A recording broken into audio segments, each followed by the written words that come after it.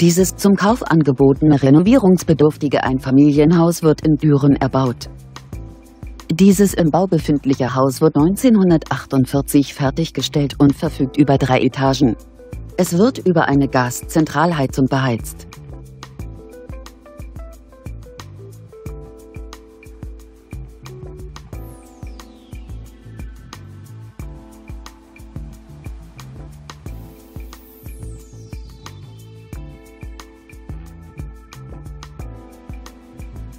Auf einer Grundstücksfläche von ca. 172 Quadratmetern weist das Objekt eine Wohnfläche von ca. 132 Quadratmetern auf. Der Kaufpreis des Gebäudes beläuft sich auf 79.500 Euro. Kontaktieren Sie uns für weitere Informationen.